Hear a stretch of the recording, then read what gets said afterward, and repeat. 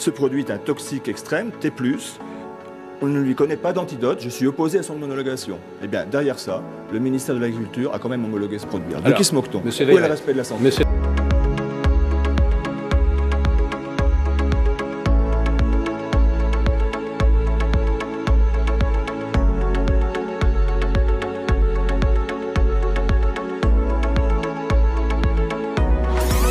Ça que nous contestons à l'UIPP le droit de dire que ces produits sont conçus et euh, utilisés dans le respect de l'environnement, puisqu'on sait très bien qu'on va les retrouver dans les deux tiers des nappes phréatiques.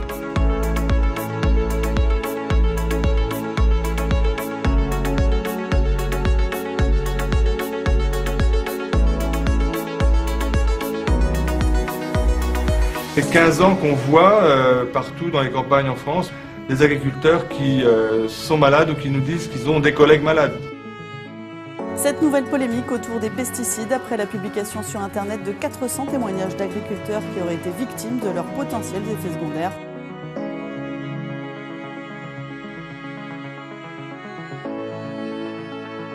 Des personnes qui se sentent victimes de l'exposition aux pesticides, avec pour conséquence, disent-elles, des cancers, des problèmes de croissance chez les enfants, de thyroïde ou des difficultés respiratoires. Les personnes qui nous contactent avant, c'était vraiment des gens qui étaient très au fait de la situation, plutôt des militants. Là, c'est monsieur et madame tout le monde, j'ai envie de dire. Au sommaire de votre journal, la carte de France des victimes des pesticides. Elle est publiée par l'association Génération Future.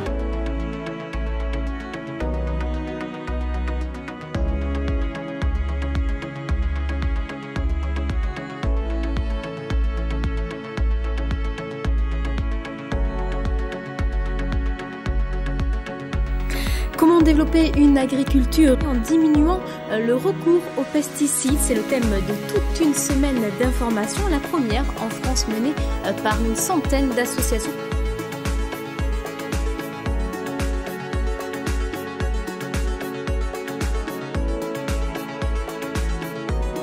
Donc on est dans un monde qui est de plus en plus sûr. Hein. Les techniques progressent, donc on révèle des molécules. Je mais globalement, dire ça aux personnes qui vivent à la campagne, euh, exposées par les champs. Euh, à et, et,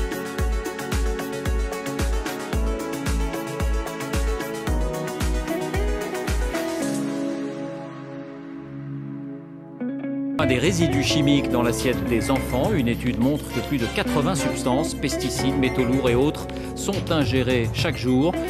Une organisation écologique lance un message d'alerte au gouvernement sur l'utilisation de pesticides dans la viticulture. Les cheveux de 25 personnes ont été analysés, 15 salariés viticoles, 5 riverains et 5 personnes habitant loin des vignes.